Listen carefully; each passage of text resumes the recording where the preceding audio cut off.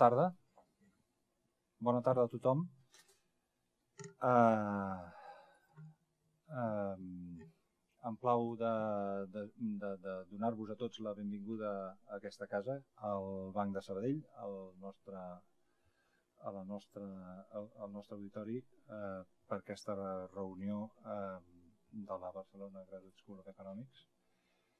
I eh, simplement anunciar-vos que tenim prevista una lecture d'una hora aproximadament i després eh, eh, 15 minuts, poder més, de preguntes i respostes i, i després una petita recepció amb una copa de cava aquí al costat que si eh, voleu acompanyar-nos estarem encantats de tenir-vos eh, aquí eh, fins que acabeu de parlar entre vosaltres.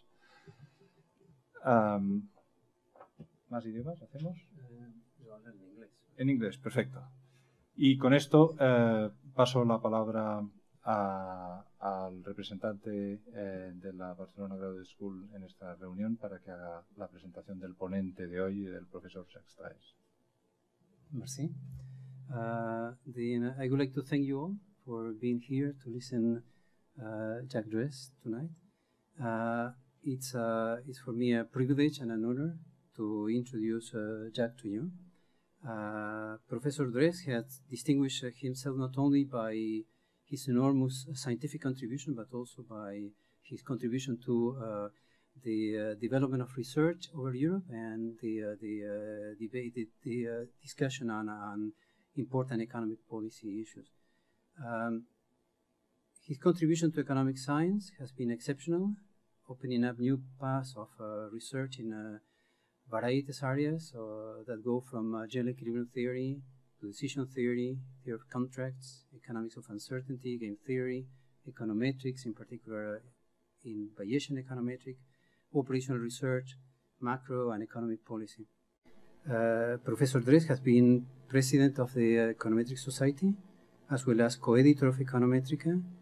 He was the first president of the European Economic Association and president of the International Economic Association. He is honorary member of the American Economic Association, the American Academy of Arts and Science, and he has received honorary uh, doctorate from uh, 12 universities, including uh, Chicago University. Um, Jacques is, uh, among many things, a convinced European, and that's the reason why he uh, he's here today. And and he started his career uh, having a lot of opportunities in uh, going back to, to Belgium, uh, and where he created the, the Center for Operation Research and, and Econometrics core that uh, is today and was likely in the past the most important research center in continental Europe. Uh, he was also the, one of the uh, founding members of the European Doctoral Program and the Barcelona GSE through the Pompeu Fabra member of, of this the first uh, European doctorate uh, program. And uh, he has actively participated in debates on the most pressing problems of the European economy, among them unemployment, the pension system, university reform, and many other things. Jacques has, for many of, of us, and in, in particular for me, been uh, an example, and not only in terms of his uh, research uh, career, but in terms of his uh, contribution to uh, to to the research institutions and to to the, the society. Um, and he has conveyed with passion his passion to for, for, research to all of us, and, and, and I would like in in my name and in the name of many of us here to to thank you very much. Then uh, today he will talk about the uh, the uh, the current European crisis, and he will make a proposal on the on the ways we can, and we hope we will find a way out of it. thank you very much.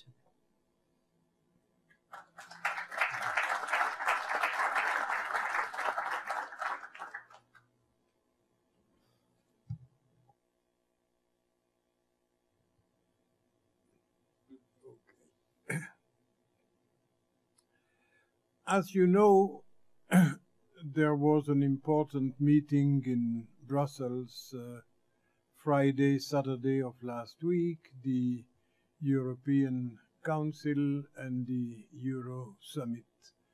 And uh, prior to these meetings uh, had circulated uh, a report by uh, Van Rompuy, Barroso, Draghi, and Juncker. And uh, one was uh, hoping that this report would lead to important policy decisions, and there had been much uh, uh, intuiting that uh, the time had come to be less concerned about uh, austerity and more concerned about restoring growth. So we were hoping that maybe sometime during these two days, uh, President Van Rompuy would call the press and uh, claim Habemus program. we have a program. But if you look at uh, what people commented afterwards, uh, you see that uh, no, there was no program.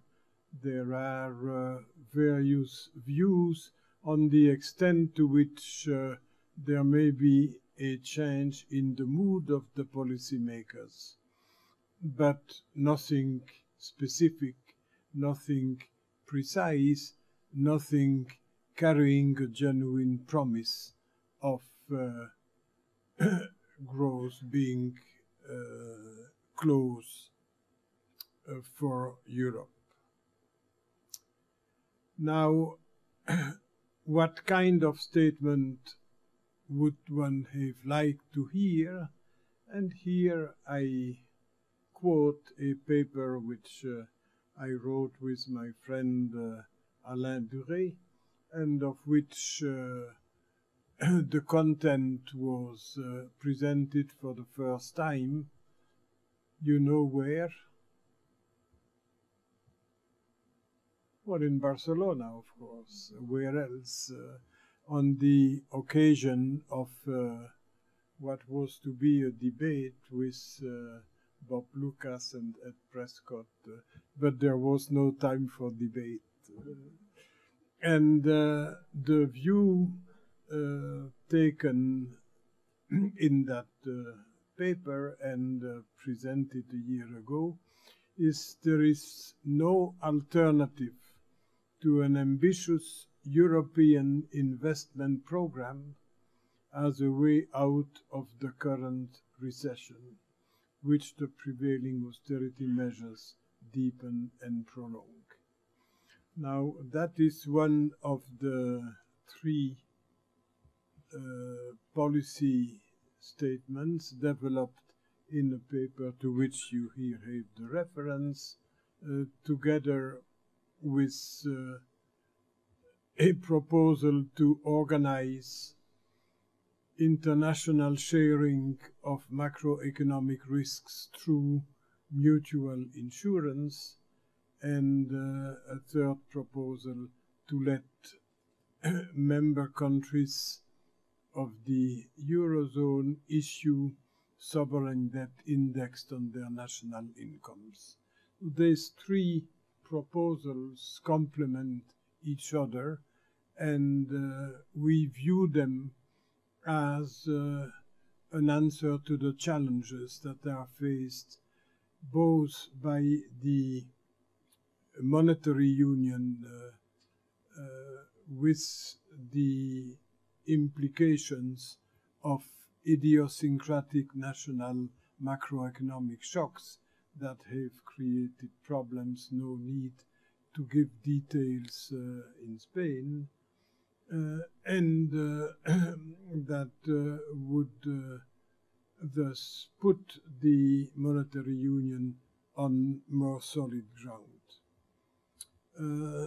I understand that we had one hour, of which there may be 50 some minutes left, and uh, I would like uh, to share this time with you, and in particular to hear your reactions to this blunt statement that uh, an international investment program is the only way of going beyond the current recession into renewed growth. So I will uh,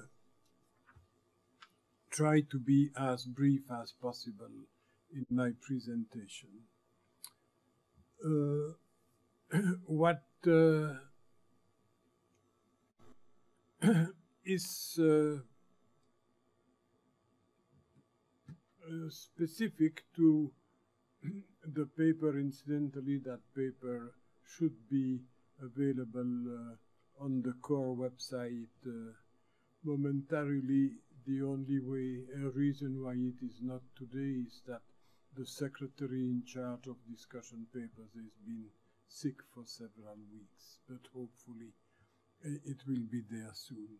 Uh, we start from general equilibrium theory uh, in an area where most people start from macroeconomics of one kind or another. Uh, we see no conflict or contradiction between these two avenues, uh, but uh, we stress that uh, the general equilibrium analysis uh,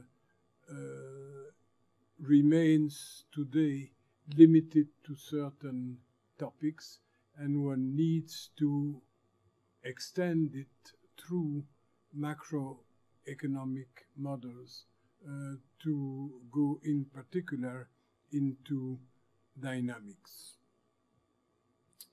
I don't think that I need to remind this audience in details of what the general equilibrium approach consists of. Uh, it starts with describing an economy as a set of households who consume commodities, supply labor, a set of firms that produce the commodities and employ the labor, a set of financial intermediaries, a public, se public sector that levies taxes and issues uh, transfers, and the central bank.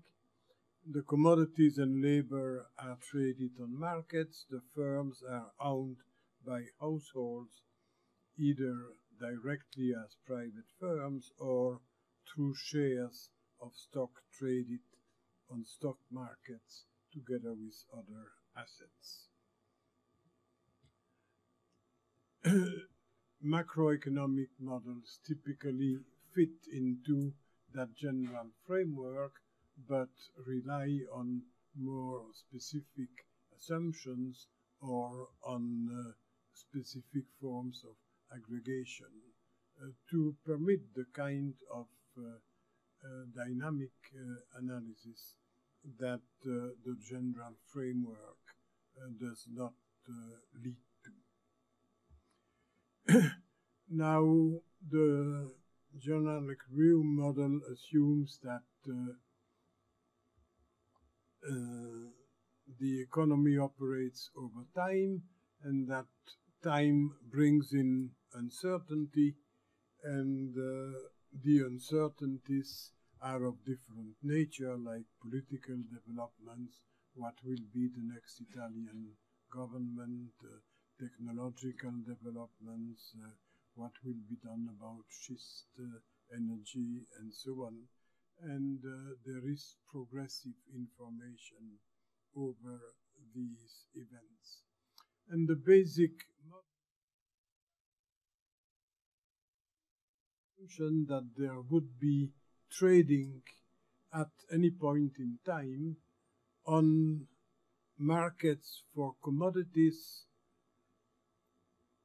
traded contingently on any of the events that is assum assuming a complete set of insurance markets whereby, for instance, today you can trade any commodity contingent on the taxes that will be levied in Cyprus uh, on bank accounts uh, and whatnot. Uh, more importantly, someone like me might be interested in markets on which you can trade contingently on the Belgian pension systems being reformed.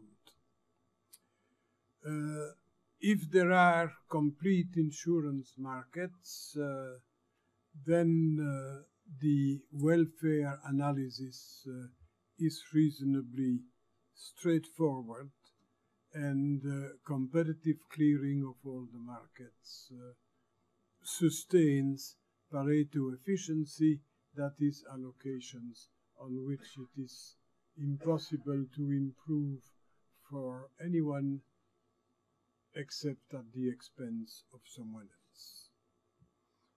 else. now, uh, in the real world, markets are incomplete. We do not have a full set of uh, insurance markets for any commodities contingently on uh, any event. Uh, most risks are not tradable, and as a consequence, the welfare theorem fails to hold because it rests crucially on the existence of a full set of markets. Now, this has a number of important uh, implications, uh, uh, of which uh, three are the following. First, market incompleteness is a source of volatility in aggregate demand. And the reason is uh, immediate. If there is scope for new information to come in that you have not been able to trade upon previously, then waiting for the new information may be beneficial for savers who will allocate their saving both between consumption and uh, accumulation and between assets. They will do this better when they have better information.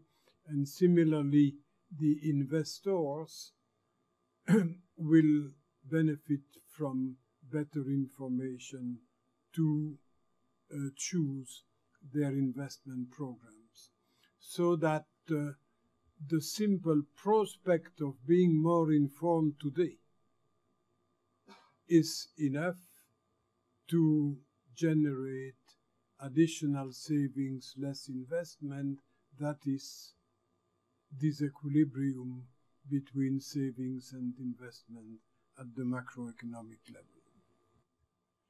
Second uh, important implications, incomplete markets breed wage and price rigidities. Now the simplest and clearest illustration of this is downwards wage rigidities to protect workers from the collapse of the market clearing wages that uh, would occur in the absence of these rigidities. Just think of what the wages for low skilled workers in Europe would be today if there were no minimum wages and no unemployment benefits.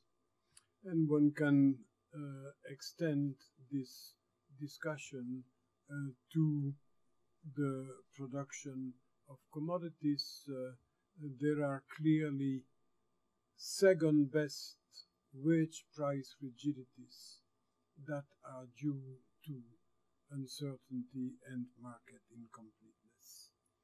And this in turn leads to uh, multiple equilibria. Uh, again, if we think about the current level of activity and employment uh, today, uh, it is not determined as the unique equilibrium of a system, it is the result of uh, the sequence of events, of the uh, process of information that uh, has led to one specific equilibrium arising today. What will be the levels of activity and employment next year? There are possibilities, there is a whole range, not a unique uh, outcome reflecting this uh, multiplicity of equilibria.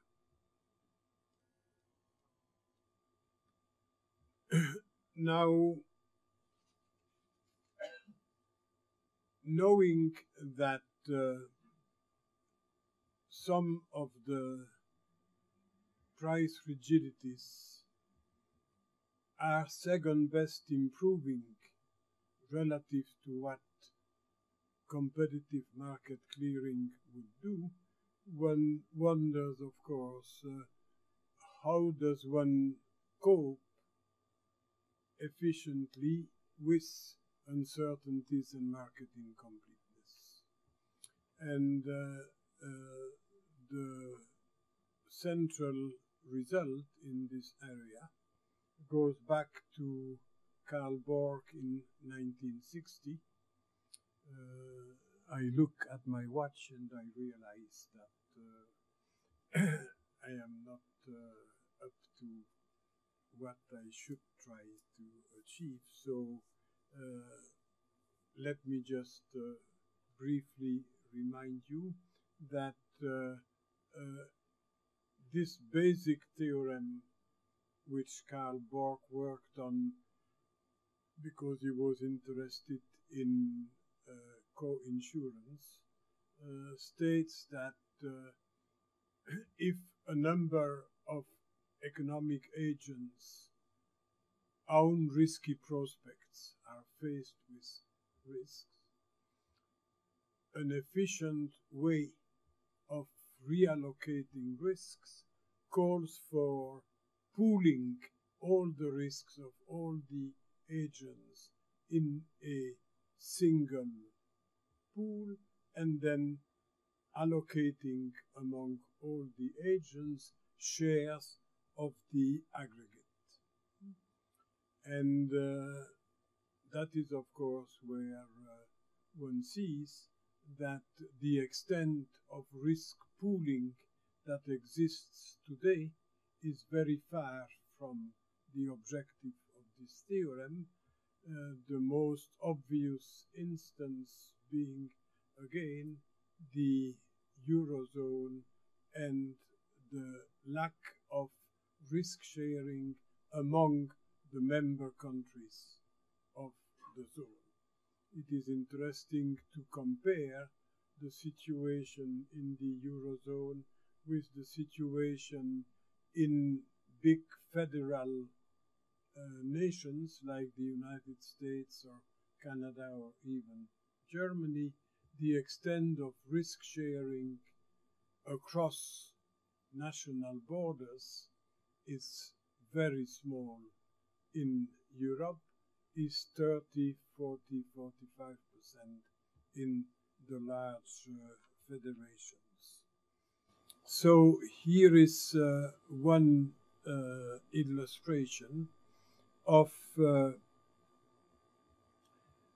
a corollary to the basic uh, theorem on efficient risk pooling, which says if you want to pool all the risks that a set of agents uh, own and then redistribute, you can do that in stages.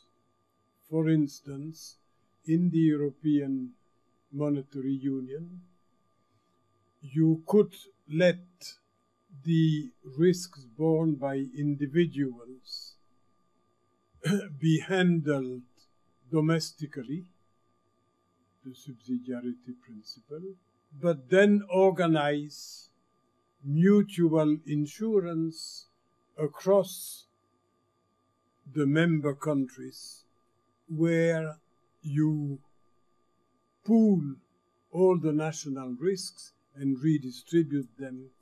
And then after this macro redistribution, let the individual countries continue domestically.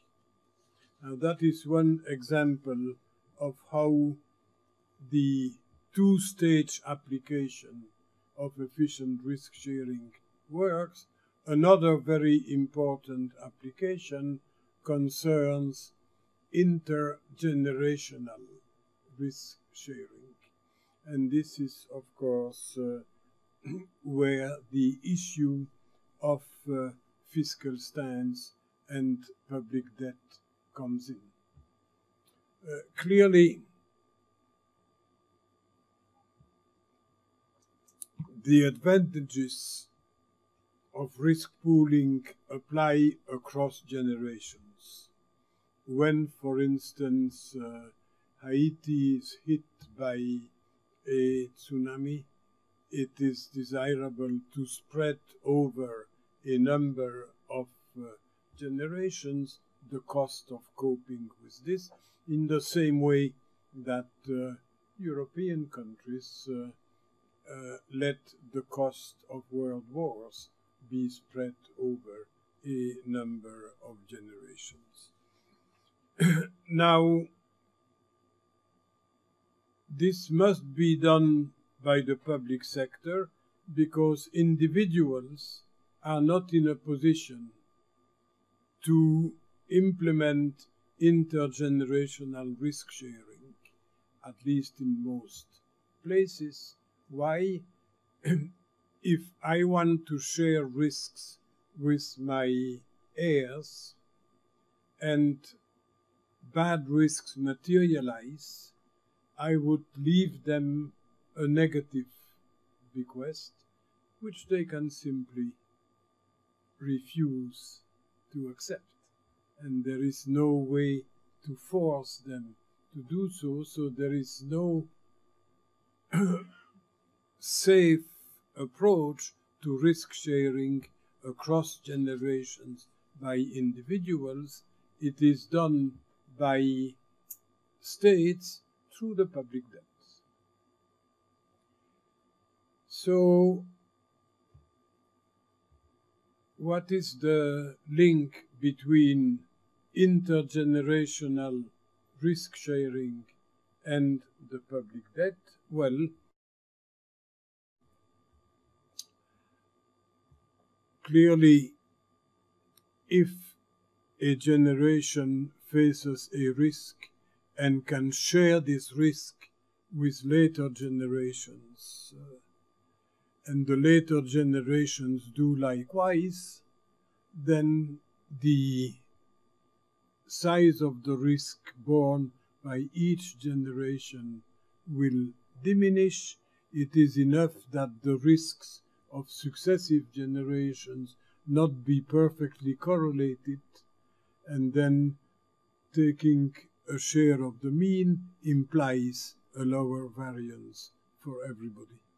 So intergenerational risk sharing through the fiscal stance and the public debt is a very natural step to take. But of course, besides the risk sharing, there is also a redistribution issue across generations, and the reason why there is so much concern nowadays about the size of the public debt of uh, various countries is the fear that this is transferring to future generations uh, negative uh, uh assets, uh, whereas uh, it would be natural uh, to ask that the transfers be non-negative.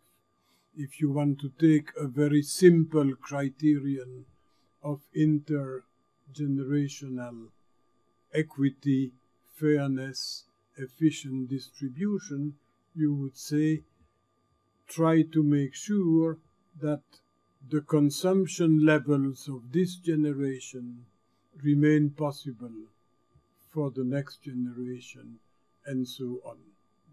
And that would define a principle on the basis of which uh, to ascertain whether an intergenerational distribution is acceptable. Uh, if you look at uh, the way to manage the public sector and public finance in this light, you would say first the intergenerational redistribution is a matter of structural policies. We should have tax and transfer and public goods uh, systems such that the successive generations are treated fairly, at least on average. There will be some risks that cannot be avoided, and these risks can be absorbed by temporary excess deficits, provided, of course, that there also exist excess surpluses in the good years.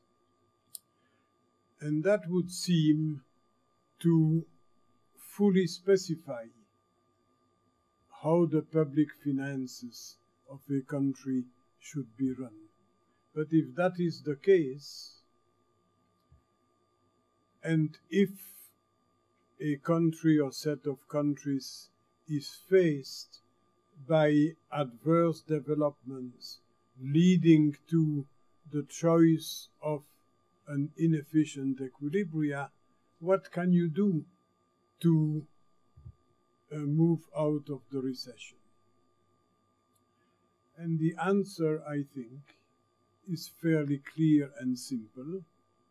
And it says if you have a public policy aimed at correct redistribution and risk sharing across generations, that leaves you free to add policies that are neutral from the viewpoint of intergenerational redistribution.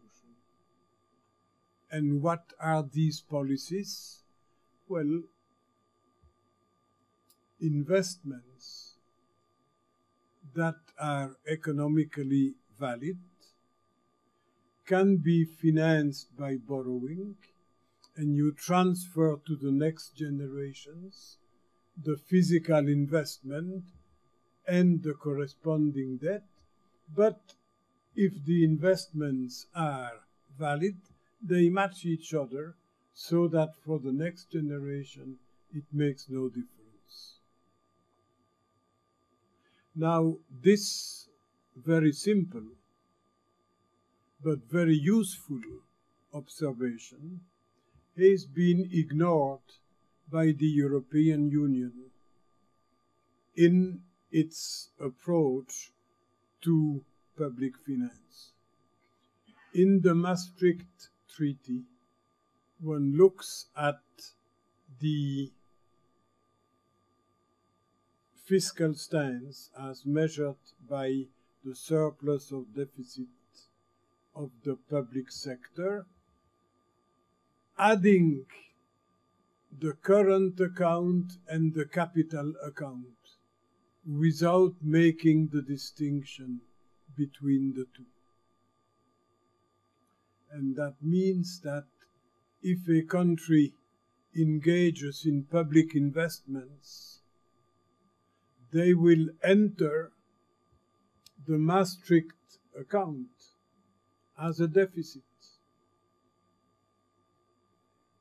irrespective of the value of the investment and of the transfer to the next generation. Nonsense. And similarly, when Maastricht looks at public debt, it doesn't ask what may be the counterpart of this public. And as a result, uh, individual countries are not allowed by the European rules to engage in public investments financed by borrowing that could help stimulate the economy. Now, individual countries will seldom wish to do that because individual countries are very open, and if they engage in aggregate stimulation, that will benefit the neighboring countries through the imports connected to the expansion, and the expanding country will suffer a current account uh, deterioration. So it has to be an international program at some level. It would be nice to do that at the level of the European Union, but uh, before we get unanimity approval of such a program, much time will go by. So, what one could hope for is that at the level of the Eurozone, joint responsibility for demand stimulation when it is clearly needed, as is the case today, this joint responsibility be exercised at the level of the Eurozone. Could this make a difference to the current situation? That is asking the question how sizable could a program of public investment at the Eurozone level be? And in the paper to which I gave the reference and uh, which I have uh, given up following through the PowerPoint, uh, uh, we report on a study of three domains where we think it would make sense to define public investment programs at the Eurozone level, namely renewable energies, transportation, and social housing. Now, we have chosen these domains because a number of basic uh, features uh, should be satisfied. Uh, if I want to connect again with my slides, uh, why not? the main point is that these investments be economically valid. One should be able to identify additional investments that are not already decided because that would not add anything to the current demand uh, situation. One would like to uh, favor labor intensive projects. One would like to be able to assess whether certain domains suffer from externalities not taken into account by the private sector. A very clear example is if you talk about uh, social housing, that's a labor intensive uh, sector. Today, the social cost of unskilled labor is much lower than the private cost. The difference is the taxes and social security contributions that enter the private costs, the unemployment benefits that uh, have to be paid in case of unemployment. So in a case like this, there is a clear gap between the private cost and the social cost, and that could become a temporary subsidy that would be fiscally neutral and that uh, could uh, be used to stimulate the private investments.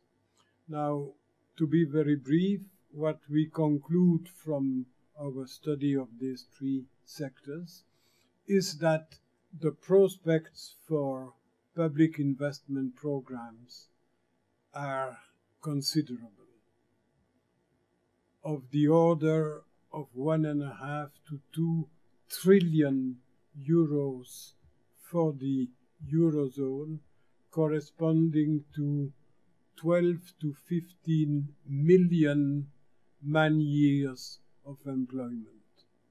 15 million is about the unemployment level of the Eurozone today. So you see that the possibilities opened by just three sectors indicate that this is worth looking at. So let me then ask you do you share this proposition that one could start a process of return to growth and return to more employment through a public investment program defined at the level of the Eurozone, possibly funded by Eurobonds, at any rate uh, exempting the countries which currently cannot raise uh, uh, loan money from participating in the funding. But if we want to do it at the level of the Eurozone, it is possible to organize uh, such funding. Do you share my view, our view, that this could be done and would make a difference? Do you know of realistic alternatives? Do you know of other ways to get a growth process started again? So that's the first question. Second question Have you heard this proposal before? Except perhaps in Barcelona a year ago when I took part in this short debate, but that was very fast. Uh, we have not found explicit proposals of that nature. And we are very surprised of this. If this is such a natural and obvious suggestion, why is it not on the table? Why is it not mentioned in the report of Van Rompuy, Barroso, Draghi, and Juncker, who insist on the need to go beyond austerity and promote growth, but no reference to an international public investment program. What is the economic profession in Europe up to today if it is not discussing actively the policies that could pull us out of the recession? Where are we failing in the communication process? Should academic economists write more in the Financial Times the way that some of our American colleagues write in the New York Times? Is that what we should be doing? Should we hold more uh, research seminars on these issues at the European level? Uh, should we concentrate on the diffusion of economic policy in the political circles. Uh, I'm asking you, what would be your suggestion for a more effective uh, involvement of the economic profession in the much needed process of suggesting the policies that will help us out of this crisis. Now, if I want to leave a little time for the audience, I have to stop here without dealing with the mutual insurance uh, policy proposal, but you will have access to the full paper on the CORE uh, uh, site uh, as soon as the secretary in charge recovers, hopefully soon. So I am asking you, do you support this proposal? Do you know alternatives? Why is it not uh, discussed specifically more widely? And where does the economic profession stand in its responsibility towards the right economic policies today? You have the world. Then just to then clear we're in trouble. That's not the standard way. Normally we ask questions to you, and now you're asking questions to us. Yes. Uh, then I, I hope my colleague will help me uh, providing answers to. Uh, no, I, I thought you were just. Uh, Well, I think one simple question would be who shares the view that an international public investment program could help substantially to start the growth process again? Those who share or approve this view, raise your hand.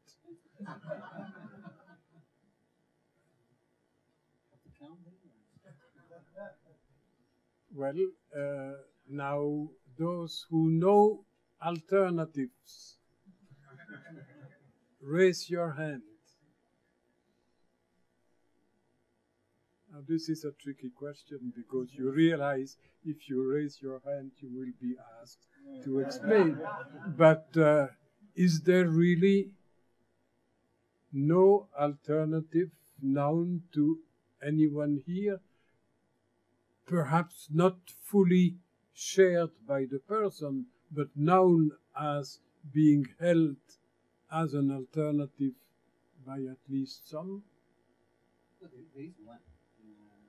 Chair, I, I think one of the big problems we are facing is that we're not letting markets to work. And uh, we were We are debating for letting just the economy to work, and we are debating on what the rules are. We were debating now for many years, and we don't know. Then uh, there is the Cyprus situation where there's a new rule coming, and that perhaps will be implemented or not. We're debating if we will implement the rule that we have just created. And uh, the, I think that there is another way of approaching the problem. It's just that we are not running things uh, in the good way. And, uh, you are, So you are asking for alternatives. So Yeah. then the alternative is to restructure the operations of European authorities. No, the, that's the debate. The debate that the big issue in Europe now is that we did a big mistake. We thought we were richer than we are, or that we were, and now somebody has to pay the bill. And we're just discussing about who will pay the bill. But then we are covering it on the discussion of we are reforming institutions. But that's not the point. The point is the Germans who like the, uh, the, the Mediterranean country to pay the bill will likely uh, have the opposite view, and and then all the debate on the uh, reform of Europe is just hiding the debate of who will pay the bill. That I would say then let the bill be paid, and then the economy will go up.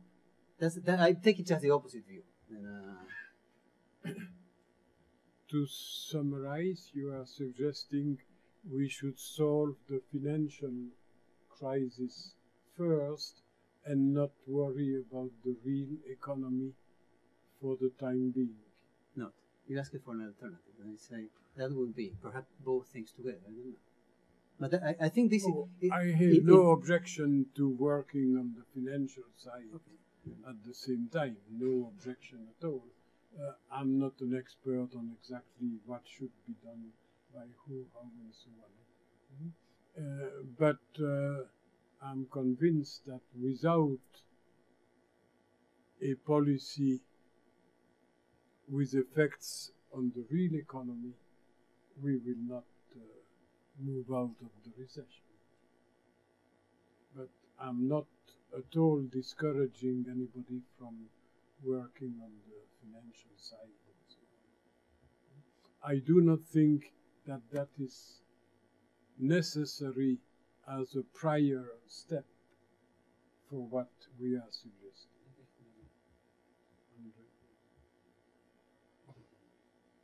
Can, can I have a question? Can I try to go back to the standard approach of uh, asking questions to the speaker from the audience? so you seem to be saying that there is like a very good market opportunity that Europeans somehow miss to take advantage of. My question is, if there is such a market opportunity, such a good opportunity, why not other player, maybe China, maybe another rich player, is taking advantage of it? Do we need to do it ourselves, Europeans? You mean why not rely on China to people come? implement a public investment program in Europe? for them. If it is so good, they will get the, all the return. Well, uh, there are, of course, clearly elements that can only be done by the Europeans themselves. When I said a minute ago, if you create jobs in the construction industry, you can subsidize them in a fiscally neutral way from the uh, income tax, social contributions that you will collect, and unemployment benefits you will no longer pay. The Chinese are not part of that, and uh, there is no uh, hope that they would come in. Uh, insofar as uh, the private investment end of what might be a public program, for instance, in the renewable energy sector. Of course, uh, uh, the equipment that used to be invested in solar energy in Spain and that uh, is now no longer invested by Spain and no longer produced. Some of that could come from China, no objection. But uh, if we want to implement faster than currently expected the program adopted by Europe for the share of renewable energy in total energy production in 2020, 40, 50, etc. Uh, we should have a program that uh, we define, I think. The Chinese will not uh, take an interest in that. And uh, if we look at the way they invest in Africa, uh, it is fairly clear that it is in their own interest and not uh, on the basis of what are the local needs.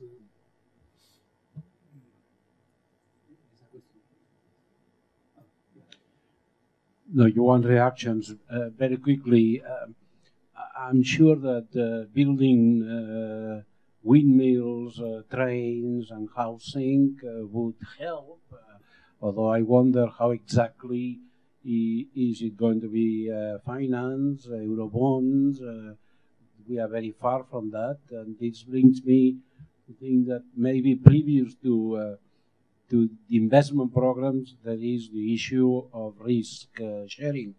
And risk sharing alone would uh, be very positive. To give uh, to give an example, if you want a stimulus in Spain, uh, let the unemployment insurance be paid by the Germans.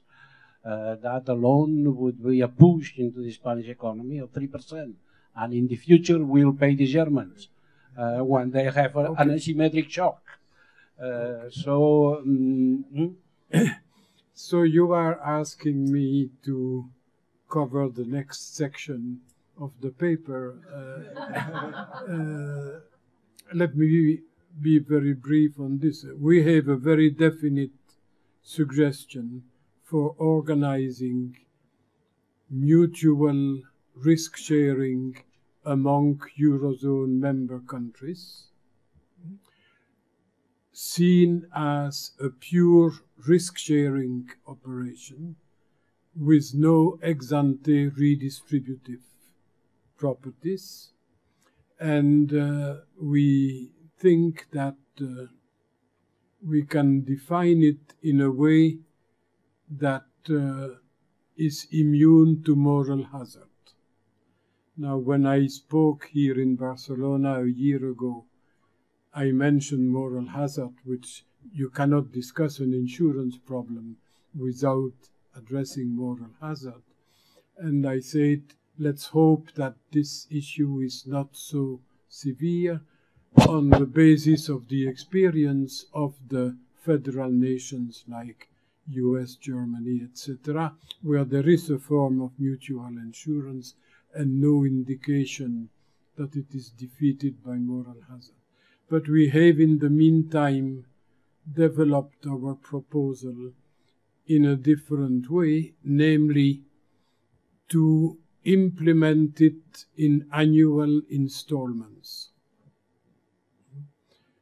That is, each year the Eurozone member countries issue debt 12 years maturity indexed on their national income for 3% of the national income and exchange these for debt indexed on the aggregate Eurozone national income.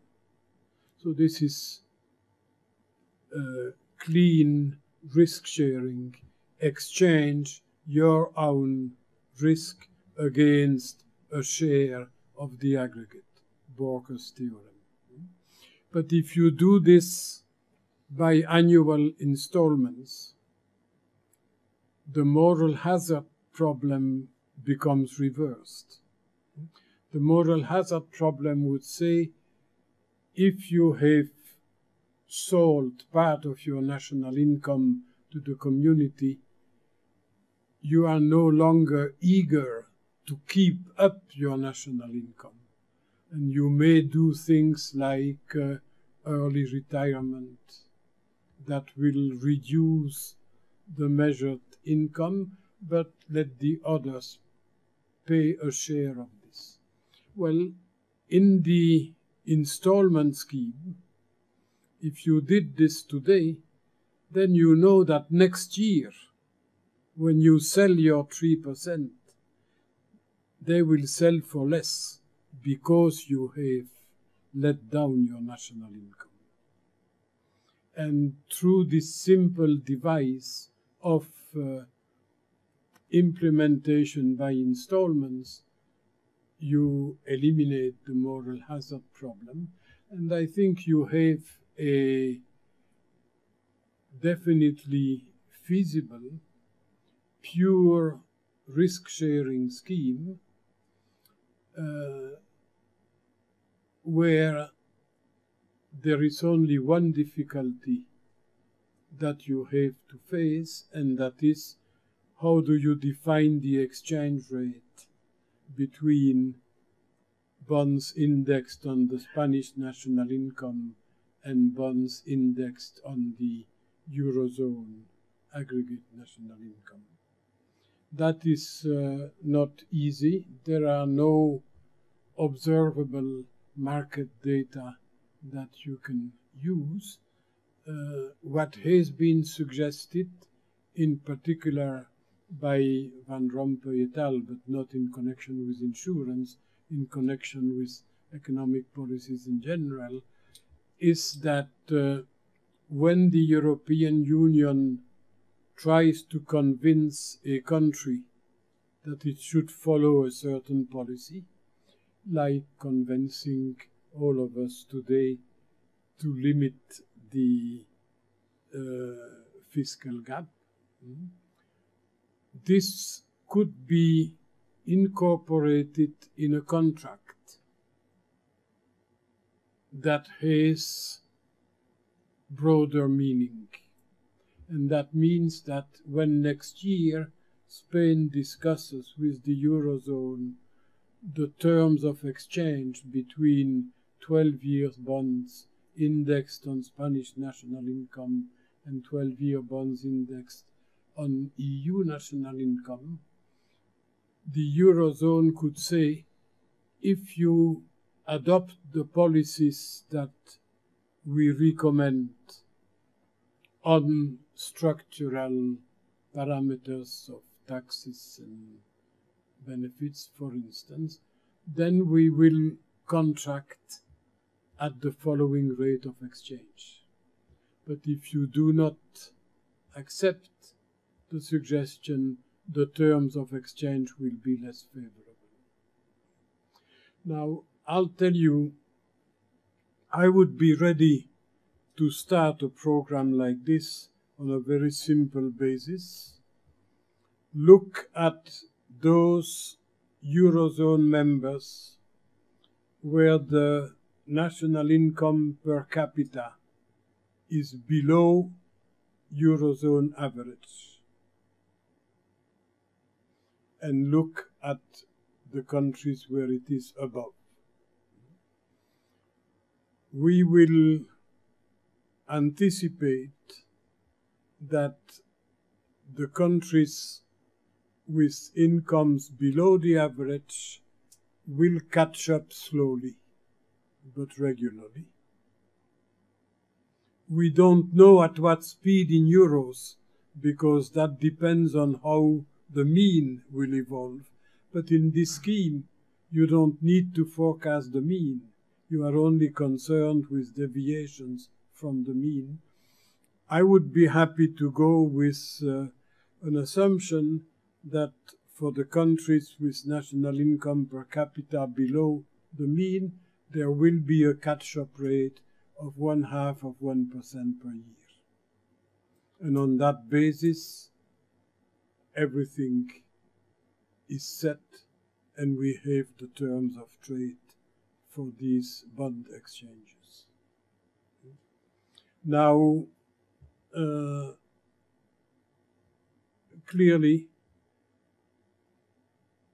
I would hope that all the countries would agree to choose this catch-up rate in a way that uh, promotes uh, the catch-up itself, in the hope that uh, the Eurozone member countries will move closer together over time.